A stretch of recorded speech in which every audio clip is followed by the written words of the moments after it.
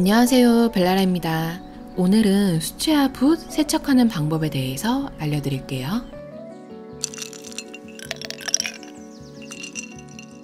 먼저 붓 세척제를 준비해 주시고요. 세척할 붓도 같이 화장실로 이렇게 가지고 오시면 됩니다. 손바닥에 진주알 크기만큼 일단 짜주시면 되는데요. 직경이 2cm가 넘지 않는 붓이라면 이렇게 진주알 만큼 짜주시면 되겠어요. 물을 틀어서 우리 샴푸할 때처럼 붓을 일단 물로 적셔 주신 다음에 붓을 위에서 아래 방향으로 이렇게 한쪽 방향으로만 계속해서 반복해서 세척을 해주세요. 이렇게 하면 물감대가 많이 나옵니다. 생각보다 굉장히 많이 나오기 때문에 이걸 처음 써보신 분들은 굉장히 놀라시더라고요. 그래서 수채화붓 사용 후에는 세척을 꼭 깨끗하게 해주세요.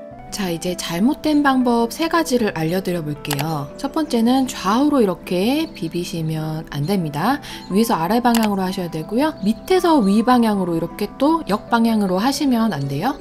그리고 위에서 아래로 이렇게 꾹꾹 누르는 것도 붓을 상하게 할 수 있으니까 하지 말아주세요. 이제 올바른 방법 알려드릴게요. 붓끝이 위에서 아래로 움직이도록 혹은 좌우로 움직이더라도 이렇게 계속해서 한쪽 방향으로 역방향이 아닌 붓끝이 왼쪽에서 오른쪽으로 움직이던가 오른쪽에서 왼쪽으로 움직이던가 해서 역방향이 아닌 방향으로 이렇게 계속 세척을 해주시고요. 헹구기 전에 이렇게 엄지와 검지를 사용해서 물감이 잘 빠졌는지 확인을 해주는 것도 좋습니다.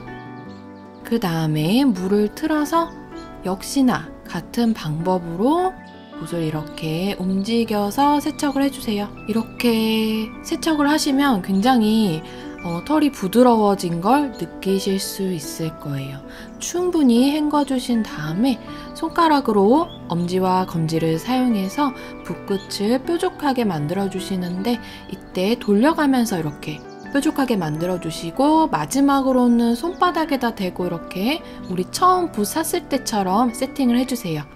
그냥 대충 털어서 말리면은 그 모양이 유지되면서 마르기 때문에 꼭 이렇게 뾰족하게 만든 상태로 말려주세요.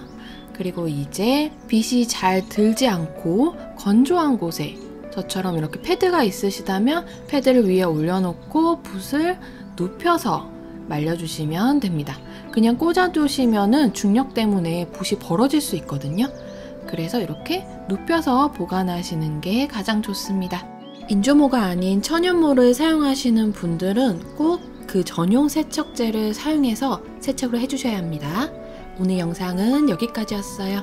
다음에 더 재미있고 유익한 영상으로 찾아뵐게요. 행복한 그림 생활 되세요.